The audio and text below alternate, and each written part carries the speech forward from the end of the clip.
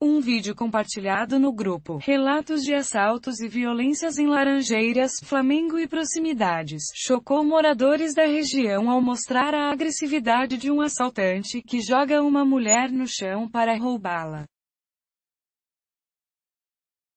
A vítima estava acompanhada de outra mulher que segurava uma criança no colo, segundo testemunhas, todos são da mesma família. A ação aconteceu na última terça-feira por volta das 15 horas, na Avenida Oswaldo Cruz, no Flamengo, zona sul do Rio.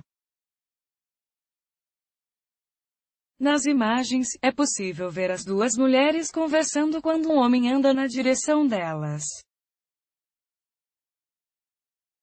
Ele aborda as mulheres, joga a vítima no chão e sai correndo levando o celular.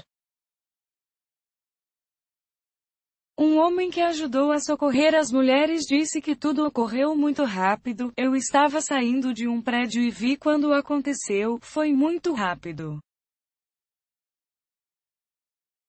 Ajudei a moça a levantar do chão. Ela havia sido derrubada pelo garoto, que parecia menor que levou o celular. O assaltante usou de tanta violência que a vítima ficou até com um galo na cabeça, disse um funcionário de um prédio próximo que pediu para não ser identificado. O vídeo também mostra um outro homem, de camisa amarela listrada, que passava pelo local no momento da agressão. Depois que o assaltante foge, um terceiro homem capturou o jovem de camisa listrada e o levou até a vítima. Ela havia sido amparada por pedestres até o muro de um prédio próximo.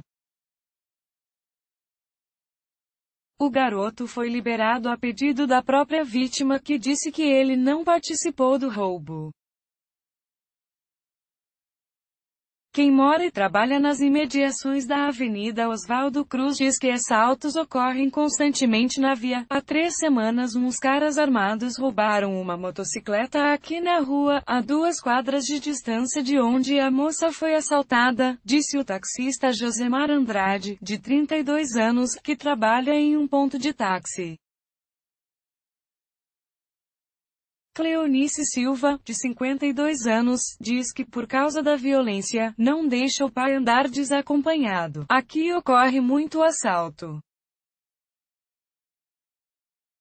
Meu pai tem 77 anos e não deixo-lhe andar sozinho de jeito nenhum. Procurada. A Polícia Militar informou que segundo informações do 2 BPM, Botafogo, a unidade não foi acionada para esse assalto. De acordo com a Polícia Civil, não foi feito o registro de ocorrência na 9 graus de Epecatete, responsável pela área, no local e dia do crime.